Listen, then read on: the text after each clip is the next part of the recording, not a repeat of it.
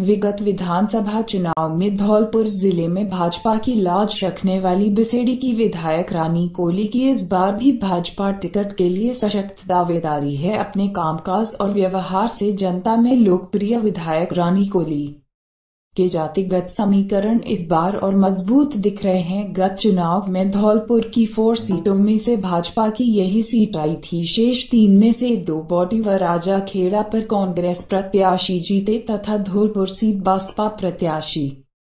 ने जीती बाद में यहाँ हुए उपचुनाव में भाजपा ने बाजी मारी। रानी कोहली ने गत चुनाव में किरोड़ी लाल मीणा की एनपीपी के चित्रिया जाटव को 4,748 मतों से हराया। इस बार टिकट की दौड़ में रानी कोहली बहुत आगे हैं उन्हें।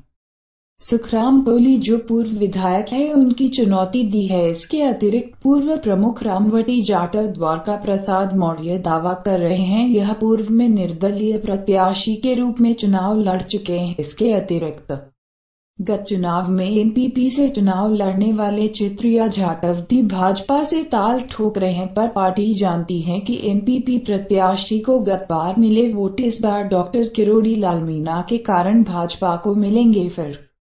डॉक्टर मीना भी जाटव का साथ नहीं दे रहे हैं।